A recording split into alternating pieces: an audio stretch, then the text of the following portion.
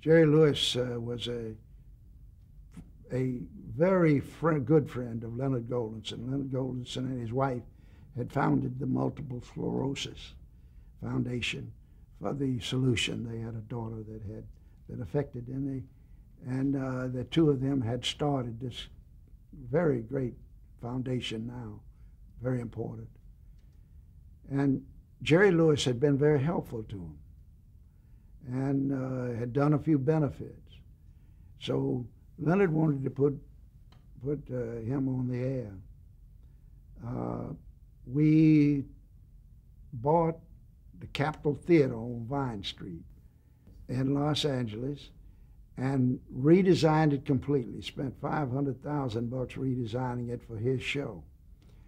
And he was going to do a totally unscripted, uh, ad lib uh, kind of show. And it went on the air and it was worse than a failure. It was a tune out.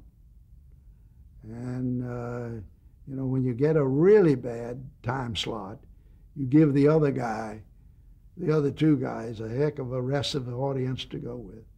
And I had to come out here and fire him, uh, which we had the right to do. He had guest stars. It was a, it was to, to be a tonight type show in prime time. And uh, anyway, we, we had this theater on our hands. And again, the name Ed Scherick comes up. He and I were on the plane coming back from that terrible time.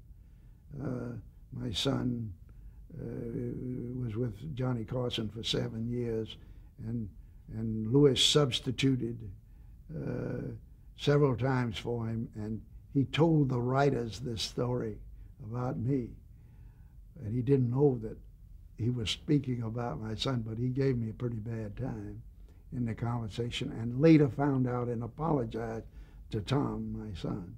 But uh, Ed Scherick came up from uh, his seat and asked the lady next to me if she would, he could swap seats with her. And he says, I've got an idea. He says, let's start uh, a Hollywood Palace. It's a show that is just like Paramount Palace in New York. It had been such a huge success up to that time. We'll have a different MC every week, the biggest we can get in Hollywood, and we'll build I know a producer, he said, I know a producer that could do it. And uh, let's go. Well, it was only air for five years, four years, I think.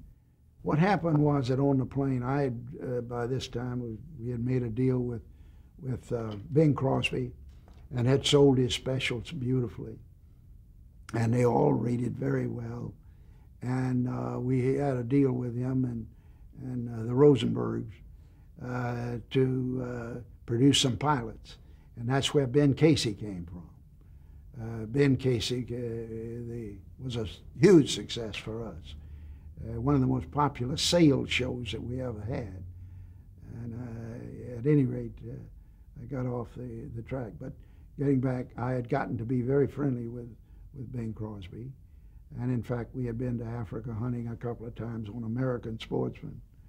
And I said, if we could get Bing to do four shows a year and get somebody else, we were talking about George Burns, to do four shows a year, and then we've got something to sell. So I got off the plane, turned around, got on the plane, and went back, and Bing Crosby was in Las Vegas.